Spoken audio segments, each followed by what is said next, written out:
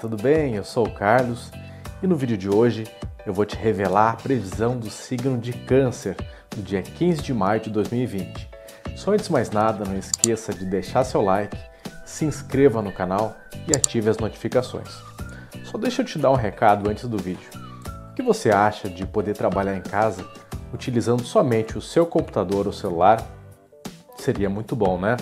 Bom, eu deixei um link aqui abaixo do vídeo com um curso gratuito onde você vai aprender passo a passo como colocar em prática. Bom, então vamos para a previsão do signo de Câncer.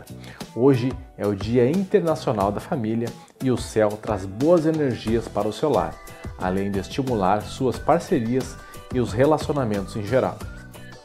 Sol e Plutão revelam que você vai se preocupar com mais necessidades alheias e não hesitará para demonstrar o tamanho da sua dedicação. No trabalho, é hora de cooperar e contar com o apoio dos colegas. Some forças para alcançar os objetivos em comum. Uma sociedade recebe impulso das estrelas. Também é um dia indicado para agarrar a oportunidade de estudar e se aperfeiçoar no que faz, mas a Lua briga com Urano e Mercúrio à tarde, recomendando mais cuidado com zicas e intrigas. No campo amoroso, uma amizade pode evoluir para romance ou você pode se envolver com alguém de outra cidade através de conversas online. Na vida 2, clima de cumplicidade real oficial. Palpite do dia 820173, cor do dia é o vermelho. Bom, então era isso.